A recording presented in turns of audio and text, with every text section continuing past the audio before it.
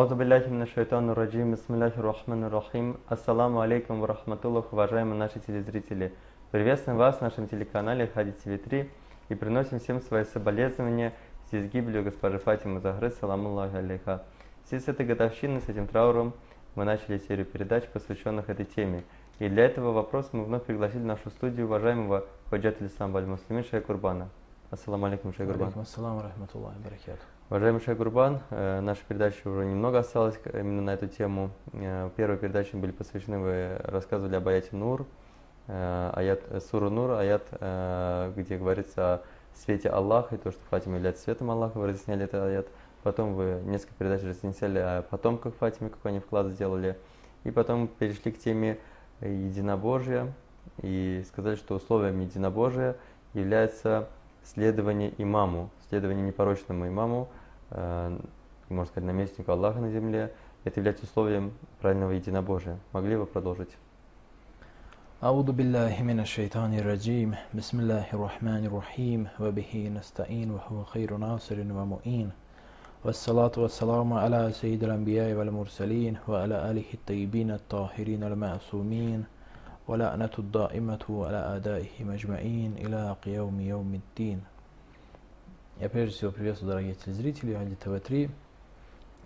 Мы увидели, что в суре свет в упомянутом вами аяте, согласно толкованию его светлости, имам Садыг, алейсалат вассалам, ее светлость Фатимату Захра, саламуллах алейха, в этой, в этом аяте, в этой суре преподносится как согласно толкованию его светлости, преподносится как хранитель, тот, кто сохранил свет Бога, свет его светлости посланника Аллаха, саллаллаху алейхи вассалям, свет ислама, свет откровения, свет э, ислама. Это роль, которую мы обнаруживаем э, согласно толкованию его, его светлости имам Садык, алейхиссалату вассалам, толкованию аята суры Нур. И разъясняя, каким же образом ее светлость Фатимата Захра, саламу алейха, сохранила, каким образом она играла эту роль, роль хранителя этого света, и сыграла в этом невероятно масштабную и значительную роль. Для понимания этого мы коснулись ряда вопросов. И последним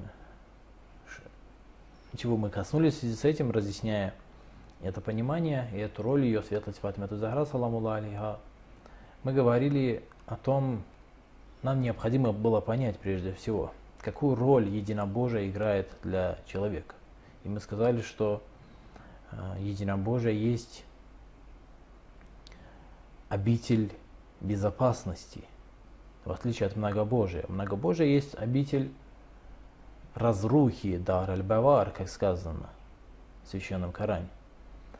Есть обитель разрухи, есть обитель страха, есть обитель страданий, многобожия.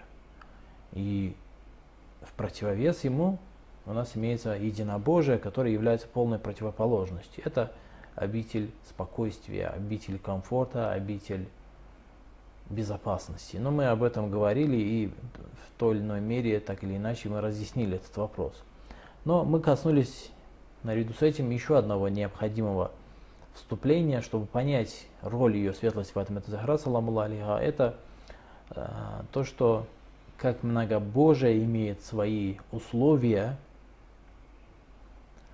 так и единобожие имеет свои условия. То есть у единобожия имеются условия. Именно поэтому каждый раз, когда речь заходит о, о единобожии, мы обнаруживаем в Священном Коране, в аятах Священного Корана, обнаруживаем упоминание об условиях этого единобожия. И одним из условий единобожия и важнейшим условием единобожия и условием, без которого – не может обойтись ни один единобожник в достижении своей цели, в достижении единобожия, не может обойтись ни один верующий, этим условием является божественное руководство. То, что в исламской культуре называется вилая, божественное руководство. То есть мы здесь подразумеваем людей, которых Бог назначил над людьми в качестве своих наместников на земле. То есть это совершенные люди, которые исполняют, доносят до людей, обучают людей божественной религии. Это, в частности, его светлость посланник Аллаха, саллаллаху алейхи ва Мы этих людей называем имамами. То есть, опять-таки, в исламской э, литературе, в исламской культуре их призван, признано называть имамами. Одним из них был его светлость, э, посланник Аллаха, саллаллаху алейхи ва который, вне всякого сомнения, был условием единобожия. Можно ли быть единобожником без соблюдения этого условия, без следования за его светлостью посланником Аллаха, саллаллаху алейхи ва вассалям. Если не испытывать любовь к его светлости, посланник Аллаха, саллаллаху алейхи вассалям, пусть люди сами на себе на этот вопрос ответят. Может ли кто-либо быть единобожником? Может ли кто-либо достичь этой обители безопасности, обойдя посланник Аллаха, саллаллаху алейхи вассалям? Даже если представить, что этот человек с утра до вечера совершает молитву, держит пост каждый день, поклоняется Богу, но при этом не признает его светлость посланника Аллаха, саллаллаху алейхи вассалям. Конечно же нет. Здесь достижение этой обители, обители единобожия, обители безопасности невозможно без его светлости посланника Аллаха, саллаллаху алейхи ва алейхи вассалям. Ман ир расуль факат ата Аллах. Тот, кто подчиняется посланнику, тот и подчиняется, именно тот подчиняется Богу. Без посланника невозможно подчиняться Богу. Иннама валийкум Аллаху ва расулуху.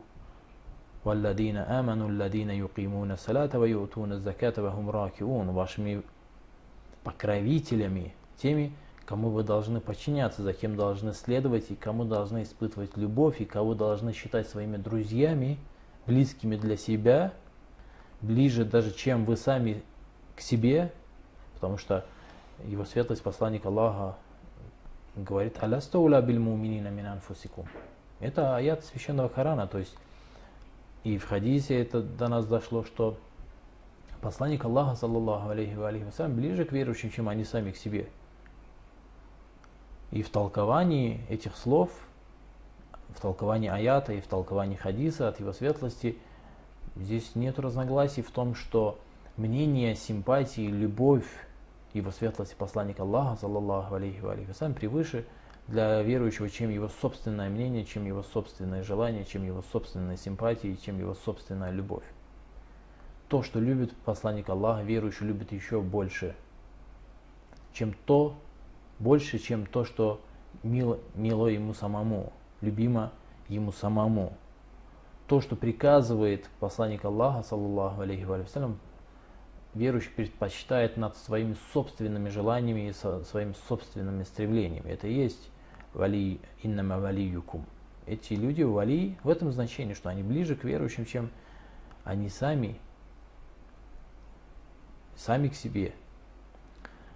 То есть без, и здесь в этом аяте мы обнаружим, что наряду с Богом поставлены посланник и верующие с определенными качествами. И в толкованиях мы обнаруживаем, к кому относятся эти качества алладина – Алладина юкимуна салата ва ютуна заката ва хум ракиун. Те, которые уверовали, совершают молитву, выплачивают закат, находясь в поясном поклоне. Мы знаем, о ком здесь идет речь.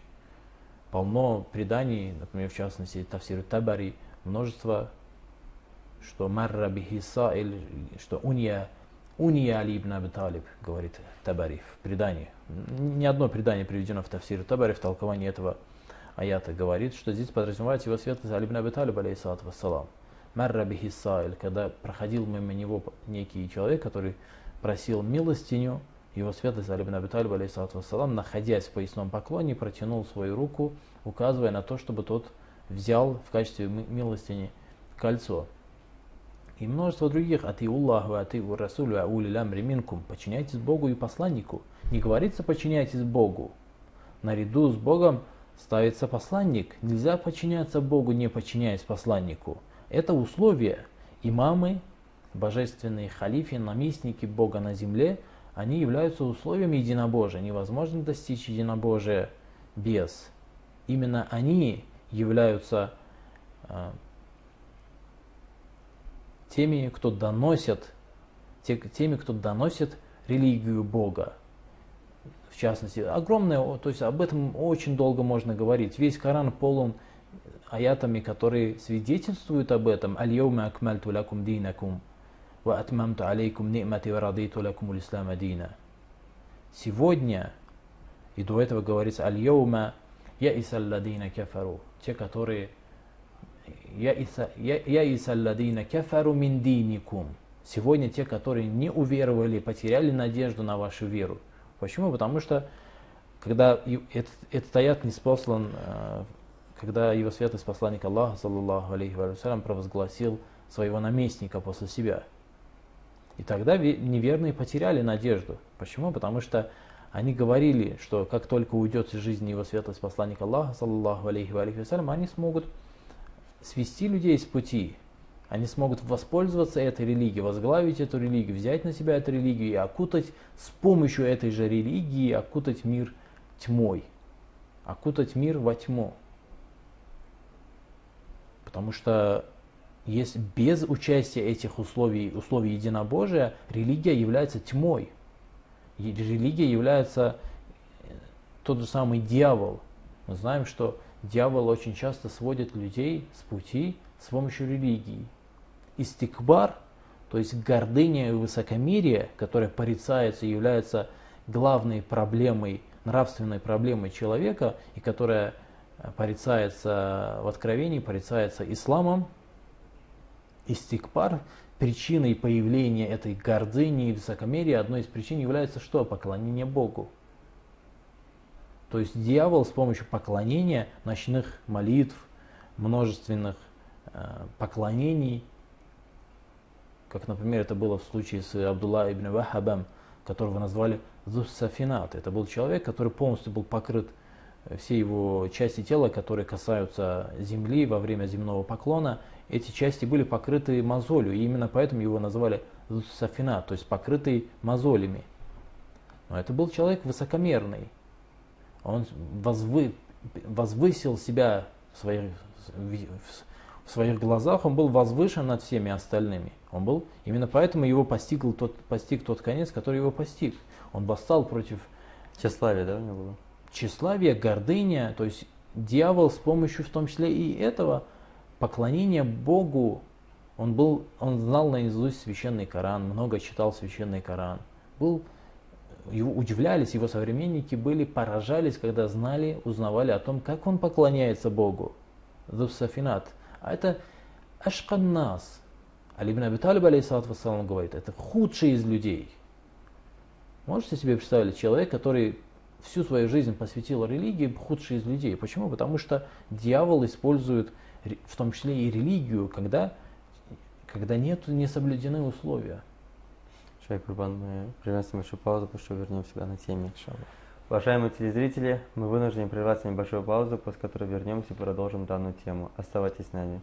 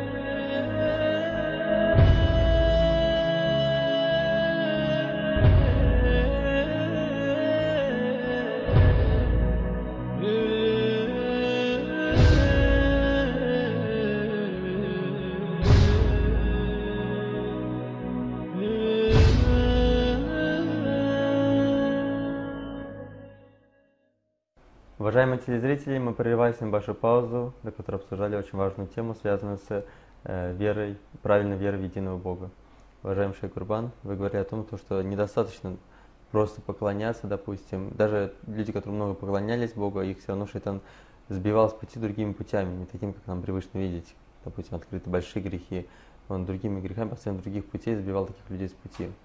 И вы пример привели того человека, который был я понимаю, во времена имама Али. Да, довольно-таки распространен. Например, его святость Али ибн Талиб, вассалам, говорит, что если бы я с этими людьми не сражался, бы, то никто бы с ними не смог сражаться, никто бы с ними не справился. Да? да.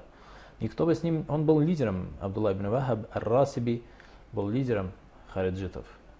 Он возглавил хариджитов при Нахраване. А, его светлость Али ибн Аби Талиб, говорит, если бы я с ними не сражался, то никому это не было под силам. Почему? Потому что все их воспринимали как приближенных к Богу людей, невероятно праведных, невероятно богобоязненных людей. Внешне так и казалось, наверное. Конечно. А на самом деле худший Ашканнас сказано в предании. Ашканнас, самый худший из людей. Потому что дьявол – это человек, который э, встает на ночную молитву, он не должен думать, что он встает, потому что Бог так хочет. Порой это может быть потому, что дьявол так хочет. Почему? Потому что если это нужно смотреть по тому, как он проживает свой день после этой ночной молитвы. Если он возгордился и смотрит свысока на всех остальных, например, видит, знает, что тот или иной его знакомый не совершает ночную молитву и смотрит на него свысока – он, здесь нет никаких сомнений, что его, ему помогает на ночную молитву вставать именно дьявол. То есть речь о том, что религия без определенных условий является угрозой, ведет в определенном направлении. И здесь условия, условия религии, условия единобожия, условия достижения этой обители безопасности являются, являются эти люди – первым из которых является его, его светлость посланник Аллаха, саллаллаху алейхи вассалям. Обратите внимание, в Священном Коране сказано «Алиф лям ра ан, китабун анзальнаху илейка литухриджан наса мина зулюмати иля нур биидни раббихим иля сиратиль азизиль хамид». Мы не, книга, которую мы не спаслали тебе, для того, чтобы ты выводил это полная противоположность того учения, которое гласит «Хаспуна китабуллах». Мы к этому еще вернемся. То есть это э, точно так же, как эти люди являются условием веры и условием единобожия, также есть и условия у своего, у многобожия есть у свои условия, в числе которых были определенные люди, которые это э, аимматуль куфр, аимматуль джаур, имамы неверия, имамы несправедливости, имамы гнета и так далее. Использовано, использованы эти выражения в преданиях, в священных текстах.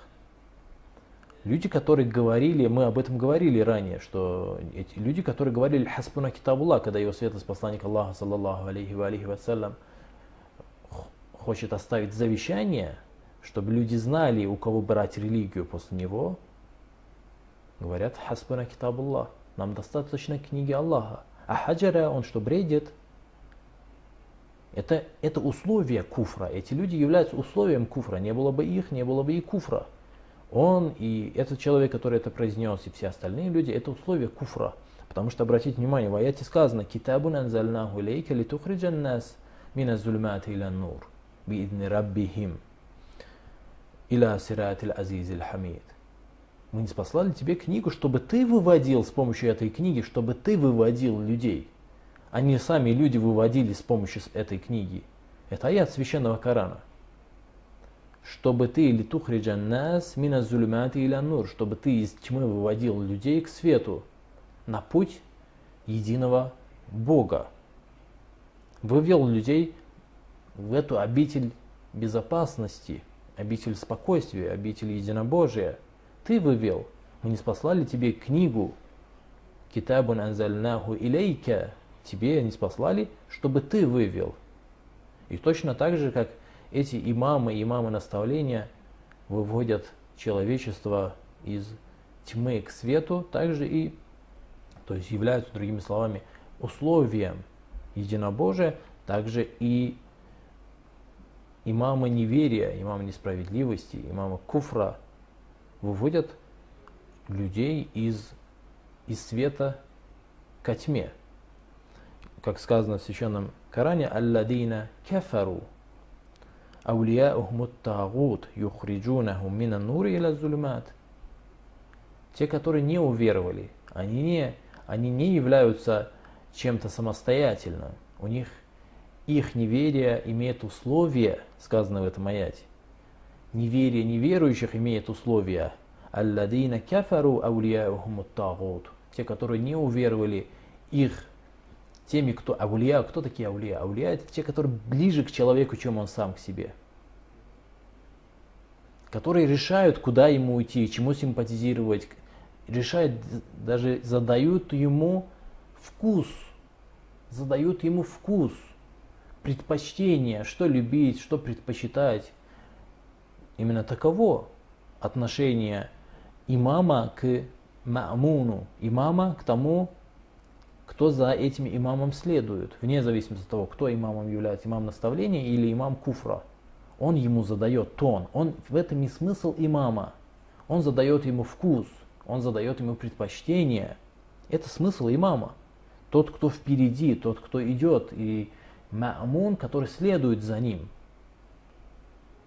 И здесь это, этот смысл имама, стоящего впереди, и ма'муна, стоящего позади имама, он намного обширен, чем может, может нам показаться. То есть мы не должны ограничивать этот смысл тем, что имам, например, идет на поход, и маамун идет с ним, за ним на поход. Нет. Это касается и предпочтений, это касается убеждений, это касается взглядов, это касается вкусов даже. Предпочтений в одежде, предпочтений в еде, во всем. Это слишком глобальный смысл. Именно поэтому в Священном Коране сказано, обратите внимание, в одном из аятов говорится «Ва ин минкум илля варидуха». Нету среди вас, среди верующих, людей, которые не вошли бы в ад. «Кяна аля раббики хатман макдия». Это решенное дело. Это однозначно будет так. «Ва-ин минкум илла варидуха аля раббики хатман макдия». Каждый из вас. Здесь некоторые переводчики попытались сказать, что вас, то есть неверных. Но не так, потому что далее говорится «Сумма нунаджиллядина такау». А потом, когда они войдут в ад, мы спасем их из ада – Кого спасем? Алладина такау. Те, которые богобоязненны. Ванадару залимина. Ванадару залимина фиха джитхия. А те, которые совершали преступления, те, которые были несправедливы, не были богобоязненны, их мы оставим там на коленях. Оставим там надару залимина. То есть оставим там, не будем их оттуда вызволять из ада. Ва ин минкум илля варидуха. Среди вас нет никого, кто не вошел бы в ад. Почему? Потому что эта тьма, да, есть человек богобоязненный, илля ладина такау, кроме тех, которые э, то есть э, э, мы спасем оттуда, сумма нунаджи такау, потом мы спасем оттуда тех, которые были богобоязненные. То есть даже богобоязненные войдут в ад. Почему? Потому что это тьма, которую они распростр... распространили и распростерли, эта тьма, она слишком обширна, она задает вкусы в мелочах. Возможно, человек в каких-то серьезных вопросах, да, он, он говорит, я единобожник, я мусульманин, я поклоняюсь единому Богу, но в тех или иных случаях он ему задает вкус, задает тон. Это, это тьма, это тагут, это неверие задает ему тон, задает ему симпатию. И это очень ярко проявляется среди тех наших братьев и сестер, которые в частности, живут в западных странах. Мы видим, как они симпатизируют эти, этой культуре, западной цивилизации, западной культуре. Они, им нравится то, как они себя ведут, им нравится, это, симпатии есть у них к неверным, к неверию, к цивилизации неверия. Эта цивилизация неверия создана этими, этой самой, этими самыми таутами. И поэтому ваин минкум варидуха. Каждый, каждый войдет, потому что они распространили. И каждая, каждая, каждая симпатия, каждая любовь, каждое предпочтение, каждый взгляд, каждые любые, все убеждения, даже в мелочах играют роль в формировании человека. И поэтому неверие, многобожие также имеет свои условия, и этим условием является тагут. Тагут является этим условием. Имеется множество, множество других, также, то есть то, что есть условия, и возвращаясь, кстати, к обсуждаемому нами аяту, аяту священного Корана и священной суры Нур, в котором, который как раз мы пытаемся понять, который мы пытаемся понять со слов его светлости имам Садыг, алейсалат вассалам, в котором говорится «Аллах нур самавати валь арды, масалу нурихи камишкатин фиха мисбах, аль мисбаху фи зуджаджа» и так далее, в котором говорится «Бог является светом небес и земли». И пример света подобен мешкату, в котором находится миспах, в котором находится светило. Это некая лампа, в которой находится светило. Это пример. Ими говорит говорили о том, что согласно толкованию Мамсада, что Мишкат это ее светлость Фатима Захара, саламу алейха. И так далее. То есть это свет Бога. Но обратите внимание, этот Мишкат где находится? Где находится этот Мишкат? Этот Мишкат, в котором находится это светило, и в следующем аяте разъясняется фи буютин. Следующий аят говорит фи буютин адин Аллаху ан турфаа ويذكر فيها اسمه يسبح له فيها بالغدو والآسال. В домах находится этот мешкат. Что это за дома? Адин Аллаху ан турфа, ваюдкара фиха сму. Это дома, в которых Бог разрешил возвышать и упоминать Его имя. Это особые дома. Юсаббиху лаху. И постоянно в этих домах происходит восхваление Бога. Юсаббиху, таспих происходит в этих, как утром, так и вечером. Как вечером, так и утром. Постоянно юсаббиху ляху фиха билгуду и асаль. Постоянно в этих домах происходит э, Обратите внимание, есть еще один аят священного Корана. То есть этот мешкат находится в особом доме. Этот цвет находится, это цвет Бога.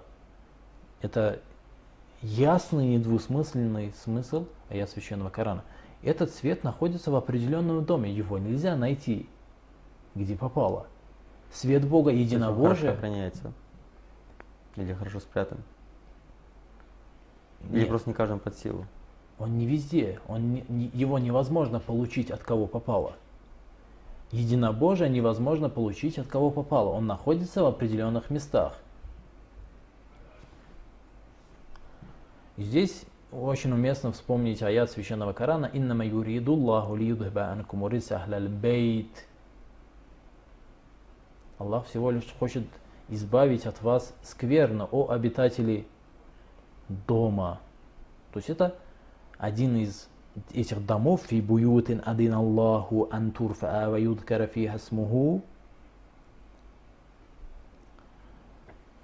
Это, то есть это одним из тех домов, домов которым позволено, Бог позволил возвыситься, и в которых упоминается имя Бога, одним из этих домов является тот дом, в котором сказано «Иннама юридуллаху лиюдхибанакум уриса ахляль бейт» о обитатели дома. Это дом ее, его светлость посланник Аллаха. И мы в толковании обнаружим, что это дом Фатимы, саламу алейха. То есть из дома Фатимы этот свет распространяется. И в этом доме живет этот мешкат. В этом доме находится этот мешкат, который охраняет этот миспах, эту светилу. Свет Бога охраняет. Обратите внимание, Нух, алейхиссалам, приведены слова Нуха, молитва Нуха, алейхиссалама в Священном Коране, который говорит «Рабби игфирли вали валидайя» «О мой Господь, прости меня и прости моих родителей. Валиман дахала бейтия. Муминан валил муминина валь муминат. И прости тех, которые входят в мой дом, уверовав. Входят в мой дом, уверовав. Бейтия муминан. Имам Садик, алейхиссалат вассалам, в Аль-Кафе этот хадис имеется, говорит, «Я не ман дахала фил вилая дахала фи бейт ламбия». Что домом Нух, алейхиссалама, является божественное руководство. Божественное руководство есть дом пророков, говорит имам Садык, алейхиссалату вассалам, что здесь Нух, алейхиссалам, подразумевает дом божественного руководства, Ахляль-Бейт. Ахляль-Бейт, в котором сказано в 33 аяте 33 суры, Ахляль-Бейт, э, то есть обитатели дома, это обитатели какого дома? Это обитатели дома божественного руководства. И этот дом, здесь в суре Нур это очевидно, это не, не подвергается никакому сомнению. Здесь весь смысл очевиден, что этот Нур Бога находится фи буютин адин Аллаху антурфа. Этот свет Бога находится в определенных домах. И эти дома, вне всякого сомнения, являются домами пророков. И нельзя этот свет, этот Нур найти где-либо еще. Нельзя обойти этот дом и найти единобожие, найти эту обитель безопасности где-либо еще. И что это за дома? Здесь мы в толкованиях ясно и недвусмысленно обнаруживаем. Поэтому эти дома являются условием единобожия.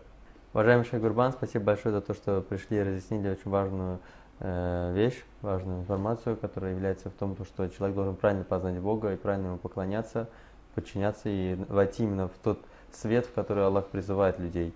Еще на следующей передаче мы продолжим Иншаллах. эту тему, и я с вами на этом прощаюсь. Ассаламу алейкум, Алейкум ассаламу, рахматуллах, баракату.